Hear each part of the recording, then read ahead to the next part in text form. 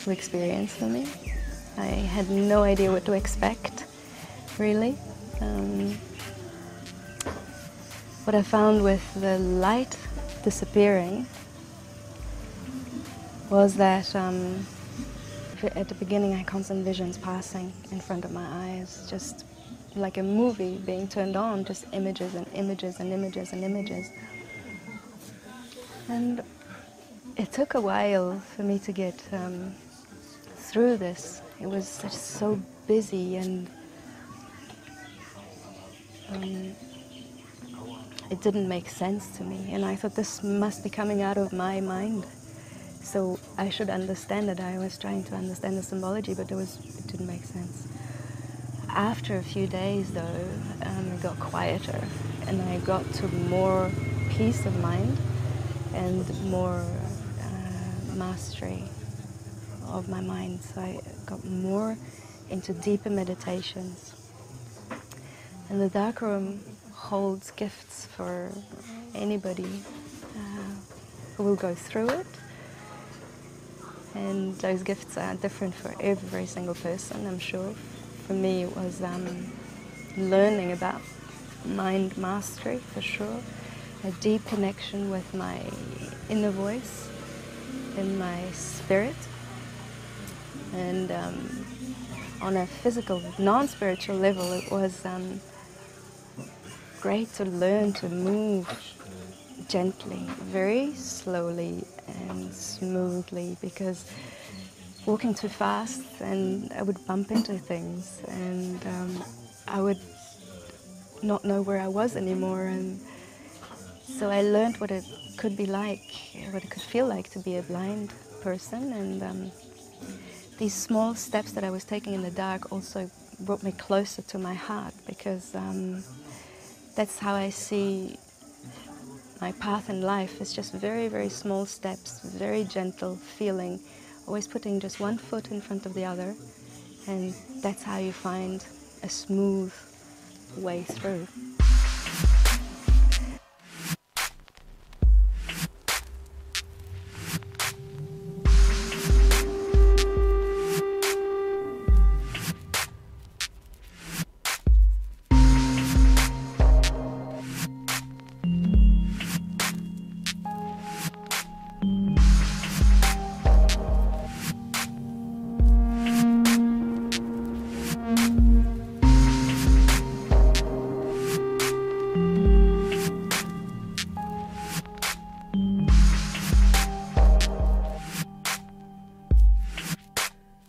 I read a book called uh, Autobiography of a Yogi. You've probably heard of it, right? It, it's been a very influential book for many people. And uh, there's a story in the book about a lady, she was practicing Kriya, Kriya Yoga. And, uh, and I won't go into it because, you know, for time reasons, but she was a breatharian since 2007. Um, I've been eating, breathing, sleeping, uh, the words of Eckhart Tolle. Um, uh, expressions like being in the body, uh, expressions like use your senses fully. And so I've really been practicing that since reading the book, which, wow, another thing that blew me away. Uh, in my daily life as much as possible, you know, even in the job, teaching, my God, teaching is 10 times easier when, um, when, you're, when there's awareness. And so the dark room for me, um, it, it took that exploration to another dynamic. It took it to a next, the next level. It was so profound because in the dark room, um, getting from A to B, if you're not totally there, if you're not totally present in the moment, then you're you're gonna collide with something, you know. Um, everything about your being should enhance the world, and everything about the world should enhance your being.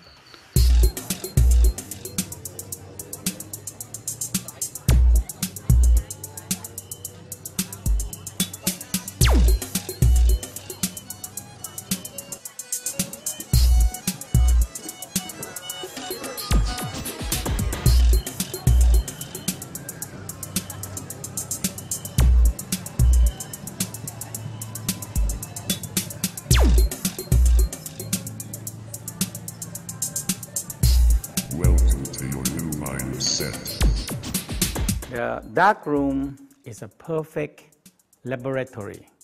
So when you're in the dark enough, one day, second day, the DMT produce. When the DMT produce, you see light. Because that is the light and color. So light is the food.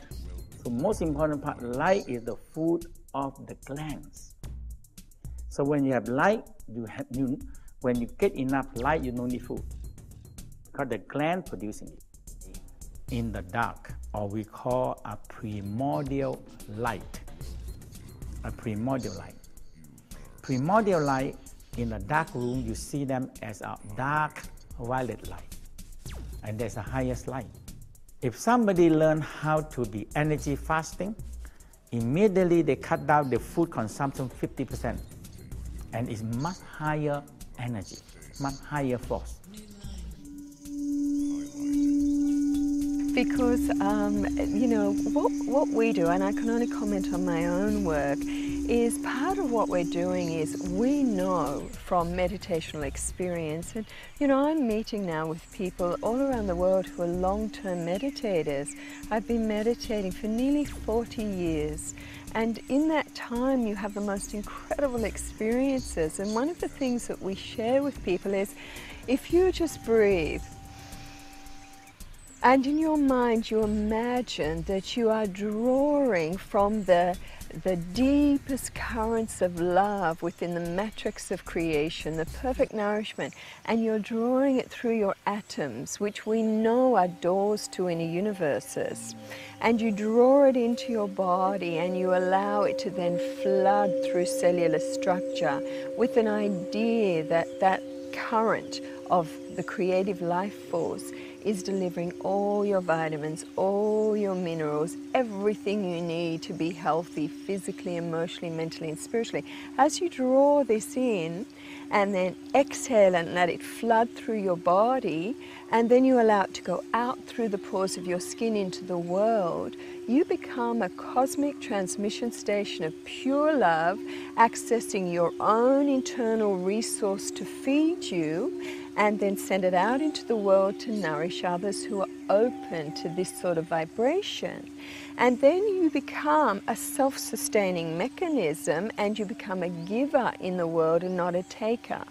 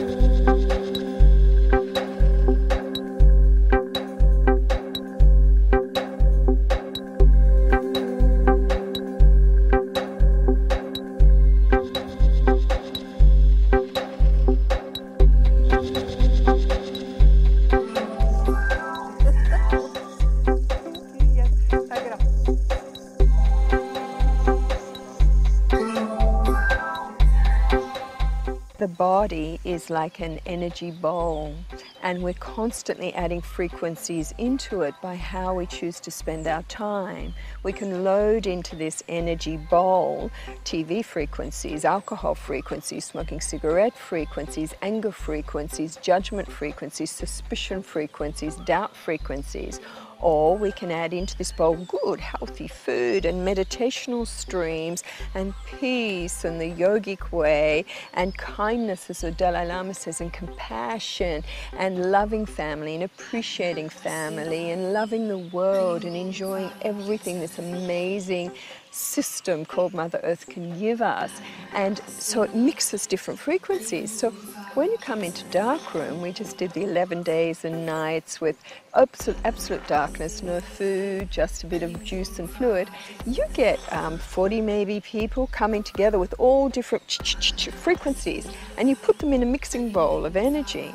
And then with futuristic science and our chemical practices, we add a supporting frequency, what we call a baseline frequency, into that bowl from which people then feed and get to be together to create something absolutely amazing that uplifts everybody.